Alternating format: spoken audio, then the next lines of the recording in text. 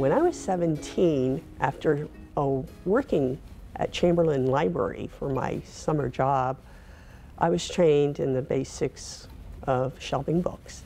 So I came to Emerson branch and I talked to Mrs. Carney, who I knew. I said, oh, Mrs. Carney, are you looking for help in the library?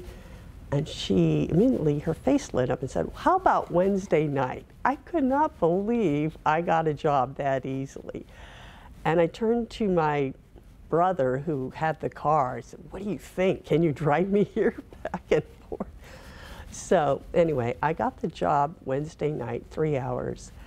I was so excited because I had my mind on three records that I wanted to buy. I didn't have a record player at that time, but I wanted the Beatles' White Album and probably a Joni Mitchell album, and that's what I got. I did buy with my first check from the county.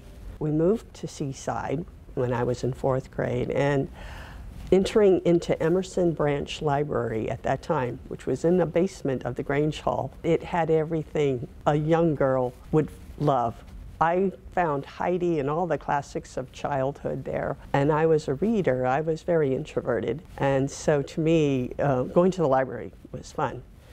In '75, I, I, um, we had a, a big opening. We were seven, I believe, seven people working here, from three to seven, and I believe we were at that time the biggest branch for the county.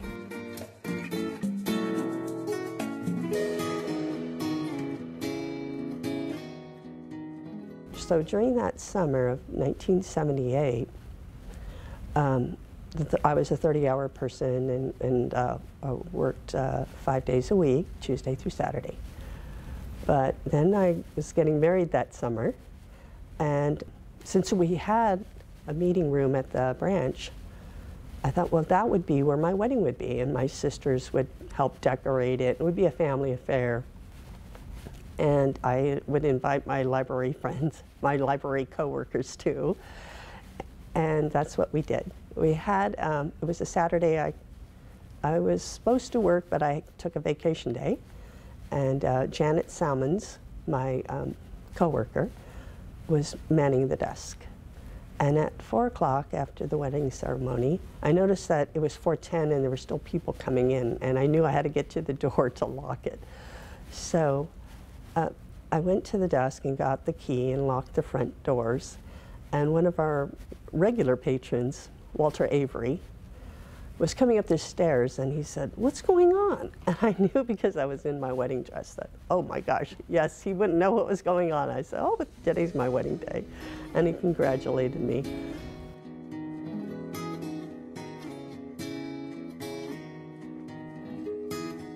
Mrs. Carney, who was a very quiet, maybe a stereotypical librarian, had a wonderful warmth about her. And she was so accepting of everyone. She was also a wonderful reference librarian. I took lessons from her. Uh, we have a tradition in Seaside Branch of being a very friendly place, meaning that everyone is welcome here.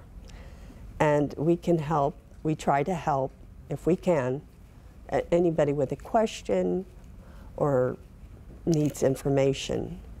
But I, I really love libraries because they are a place where you can self-educate yourself, where you can investigate. If you have a question, you can get answers to it. I brought my children here, and uh, as they grew up and learned their alphabet, I would have them help shelve books.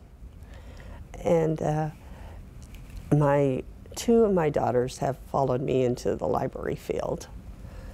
My daughter, Amelia Converse, is now working at Monterey Peninsula College, and she is in the library. She's operations supervisor there. And my daughter, my second daughter, Cynthia Sotong, has moved across the United States and landed in Princeton and got and started working part-time at the Princeton Public Library and now got a full-time job very recently and uh, is working as an associate library person in processing.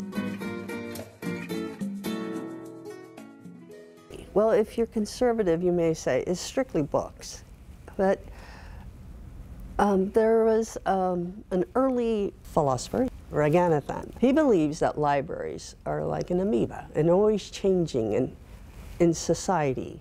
So it is a, a growing evolutionary thing of what, what is a library. Some people do have their backs up about, oh, no, that's not the service of a library to have movies, sound, uh, music, but these are libraries in their own way. Music libraries, film movies, uh, film libraries.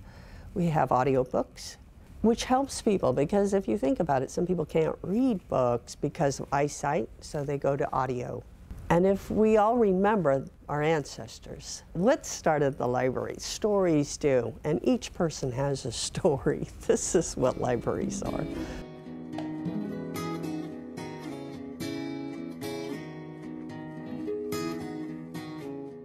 People say that maybe libraries won't continue in the future. Everybody will have a library in their back pocket on their phone.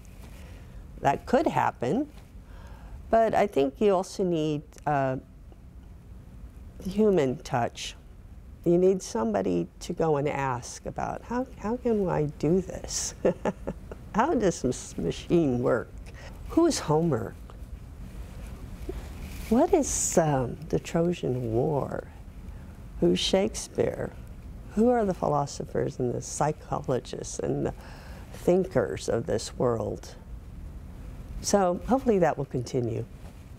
I will miss my coworkers when I leave, but I, have I've been here a span of 50 years. I haven't worked a full 50 years, though, if you really, I, I was a part-time person. I, I raised three children. I brought those little children here and told them to behave while I did.